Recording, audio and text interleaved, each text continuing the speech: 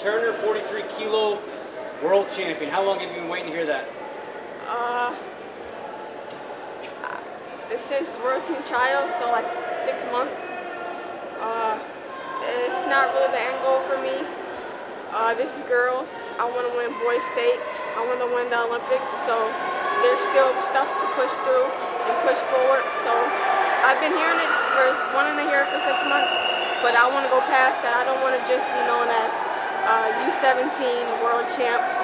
So I want to go past that. I want to be known as the 12-time Olympic champ, the one, the only, the greatest who's ever done it. I, I don't want to be just known as um, a world team champ. So.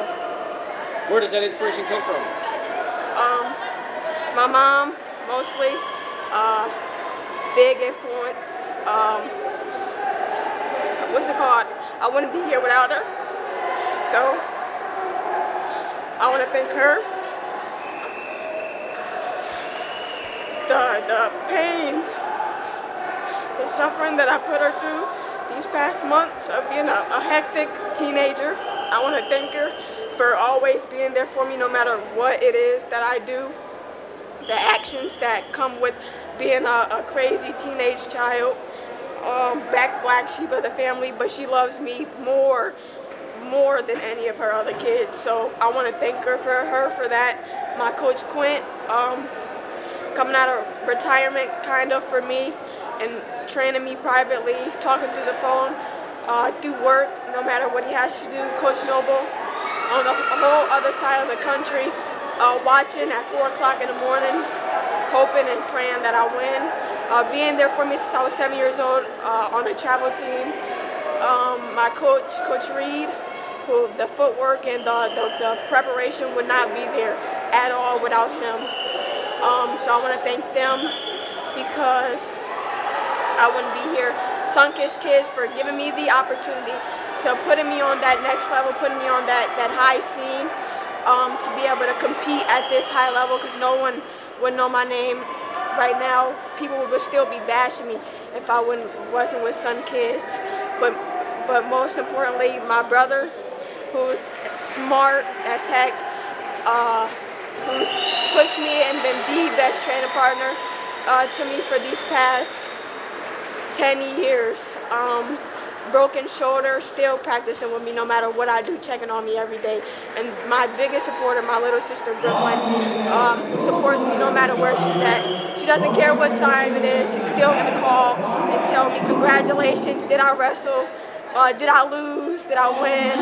Coaching me from the phone, coaching me from the sideline, coaching me at the mat. Uh, my biggest supporter, Brooklyn. I would not be here without all those names that I just named right now. So what were you thinking at the end? You needed points, you went out and got it, and they didn't give it to you right away. What went through your mind? Keep wrestling. We just talked about this as a Team USA. Keep practicing and keep pushing no matter what the circumstances. I knew I had to. I knew that I was going to be fine. My mom knew that I was going to be fine. That's why she challenged the call. So, so going out there, keeping my head and making sure that I wrestle through the whistle no matter what the time is. And when you, oh, go ahead. When you think of Japanese grace, there's two things that come to mind. They score early and they score late.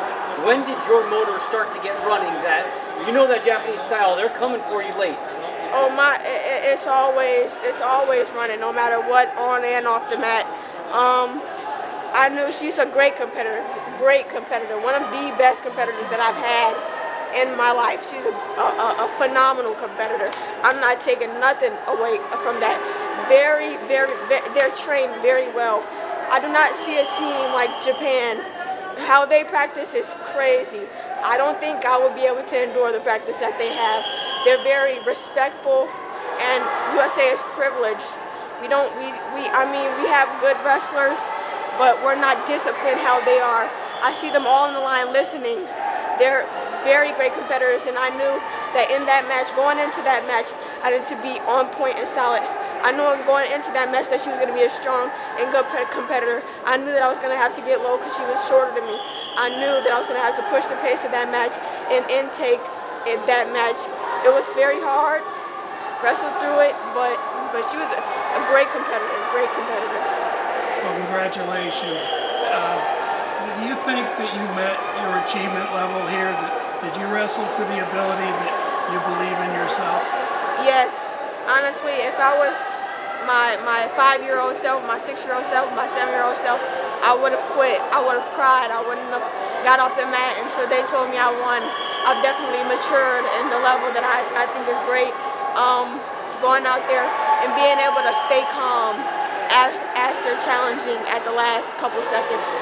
Um, I feel like um, when I was smaller, I would get mad because I wouldn't get my way. I had a very bad temper. If I would have lost, then I think I would have. I, I don't think I would be. I wouldn't be sitting here right now if I would have still had that mindset as a six-year-old, as a sixth grader. I would have been throwing a fit. Everything would have been on the floor. But I have matured in a way that I cannot explain. I'm, I'm more. My mindset is better. I'm greater than what I was before.